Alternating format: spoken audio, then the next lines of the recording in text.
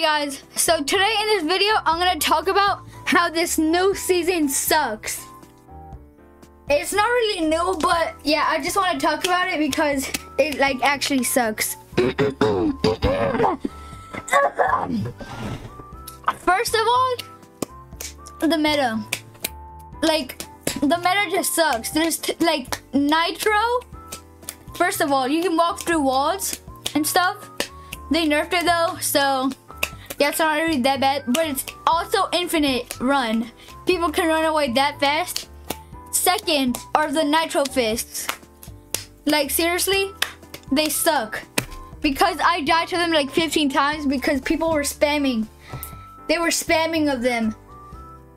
Even good good players spam them too. Like, I don't even know why. And third of all, you already know this one. It's the cars. I love cars, like in Fortnite, but like all these attachments and like all this nitro stuff is making them overpowered.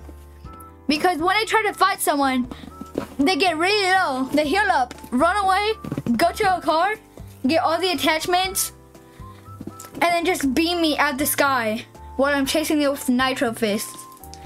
I mean, nitro fists are good for like transportation, but they're bad for like like um fighting, I guess. And and this is the fourth and final reason why this season sucks. The battle pass and all that stuff is mid. Like it's not even that good. And they changed so much stuff in this season too.